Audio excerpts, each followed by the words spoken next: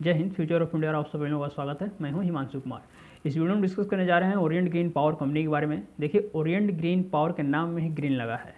हालाँकि ये कंपनी काम भी ग्रीनरी के सेक्टर में ही करती है, अर्थात रिन्यूएबल एनर्जी के सेक्टर में काम करने वाली कंपनी है। रिन्यूएबल एनर्जी यानी कि ऐसी एनर्जी जिसको बार बार बनाया जा सकता है और उससे एनर्जी प्राप्त की जा सकती है। तो ये एक ट्रेंडिंग सेक्टर है। ट्रेंडिंग सेक्टर कहने का मतलब ये हुआ कि जिसमें देश के बड़े बड़े इन्वेस्टर्स अपना पैसा लगाते हैं, वो इसलिए लगाते हैं क्योंकि सेक्टर ट्रेंडिंग है। ट्रेंडिंग सेक्टर को और आसान भाषा में बताएँ तो इसका ये मतलब होता है कि आने वाले समय में इस सेक्टर की डिमांड और बढ़ सकती है और इस सेक्टर में जो कंपनियाँ काम कर रही होती है, उनका फ्यूचर में डिमांड और बढ़ सकता है।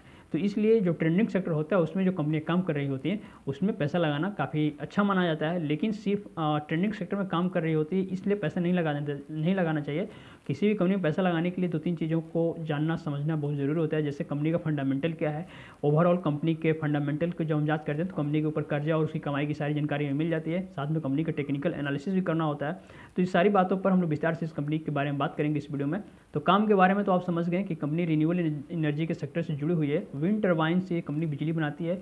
विंड टर्बाइन से बिजली बनाने के साथ साथ उसको लोगों के घरों तक पहुँचाने और बेचने का काम ये कंपनी स्वयं करती है। और देखिए, यदि मार्केट की भी बात करें तो इस कंपनी का मार्केट कैप तकरीबन साढ़े आठ सौ करोड़ के आसपास है, लेकिन शेयर प्राइस काफ़ी कम है। अभी जब मैं वीडियो बना रहा हूँ तो कंपनी का शेयर प्राइस सिर्फ़ साढ़े ग्यारह रुपये के आसपास चल रहा है। साढ़े ग्यारह रुपये काफ़ी कम प्राइस है, इसलिए लोग इस कंपनी को पेनी स्टॉक कहते हैं हालाँकि कंपनी स्मॉल कैप कंपनी की श्रेणी में आती है।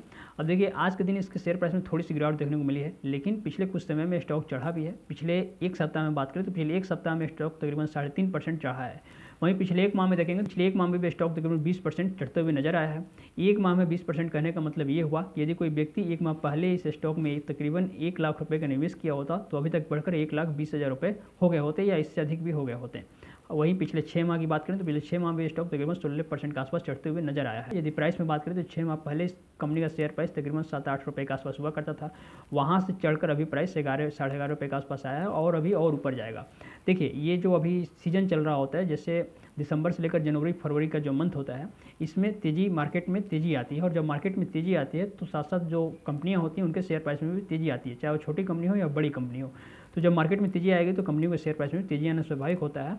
इसलिए अभी इस कंपनी के शेयर प्राइस में आपको तेज़ी देखने को मिल रही है। हालाँकि ऐसा नहीं कि आगे इसमें तेज़ी बरकरार नहीं रहेगी। कंपनी के ये डिपेंड करता है कंपनी का फंडामेंटल कैसा है। क्योंकि कंपनी जब अच्छे सेक्टर में काम कर रही होती है तो फंडामेंटल यदि ठीक रहेगा तो लंबे अवधि में कंपनी के शेयर प्राइस में तेज़ी आएगी ही आएगी। हालाँकि यदि बावन वीक की, बावन वीक का जो इसका हाई रहा है, अट्ठाईस रुपये के आसपास, वहाँ से देखेंगे तो स्टॉक में काफ़ी गिरावट देखने को मिली है। तो ऐसा हो सकता है कुछ लोगों ने उस समय बाई किया होगा, यानी कि ऊपरी लेवल पर बाई किया होगा। उसके बाद से जब प्राइस नीचे आने लगे तो बहुत से लोग फंस गए होंगे। कुछ ऐसे भी लोग होंगे जो अभी तक इस स्टॉक को ढो रहे होंगे। तो उनके लिए अच्छी खबर है कि अब मार्केट में तेज़ी आने का समय आ गया है। इस स्टॉक में भी तेज़ी आएगा। तो आपको जहाँ लॉस हो रहा होगा, जब लॉस रिकवर हो जाएगा तो आप चाहे तो अपना प्रॉफिट बुक कर सकते हैं, इससे बाहर निकल सकते हैं या लंबी अवधि के लिए यदि आप निवेश करें तब तो आपको कोई चिंता की बात नहीं, तब फिर भी आप इसमें बने रह सकते हैं।